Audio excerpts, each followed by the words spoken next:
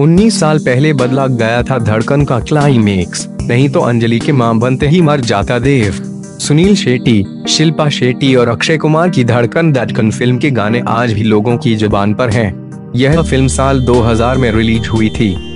Film की कहानी से लेकर तीनों स्टार की एक्टिंग ने फ़िल्म को हिट करा दिया था।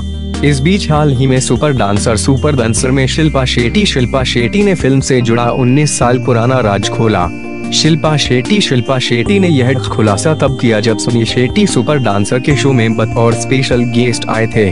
शो के दौरान शिल्पा और सुनील शेट्टी ने तुम मेरी धड़कन में रहते हो गाने पर रोमांटिक डांस परफॉर्मेंस भी दी। इस दौरान शिल्पा शेट्टी ने फ़िल्म के क्लाइमेक्स से जुड़े राज का खुलासा किया।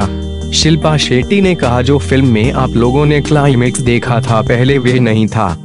शिल्पा ने आगे कहा, इस फ़िल्म के क्लाइमेक्स में इसलिए बदलाव किया गया क्योंकि फ़िल्म निर्माताओं को बाद में लगा कि फ़िल्म की हैप्पी एंडिंग होनी चाहिए। पहले क्लाइमेक्स में दिखाया जाने वाला था कि जब अंजलि, शिल्पा शेट्टी, देव, सुनील शेट्टी को यह बताती है कि वो राज, अक्षय कुमार के बच्चे की माँ बनने वाली है तो यह सुनकर देव मर जाता है।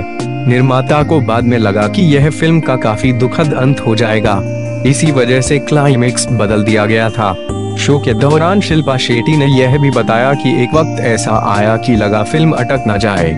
जिस वक्त सुनील शेट्टी को साइन किया गया था, वे दूसरी फ़िल्म की शूटिंग में बिज़ी थे।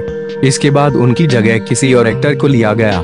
फ़िल्म निर्माता को बाद में लगा कि सुनील शेट्टी की देव का किरदार बेहतर निभा सकते हैं। इसके बाद सुनील शेट्टी से दोबारा बात की गई। ऐसा करते करते फ़िल्म को बनने में करीब पाँच साल लगे।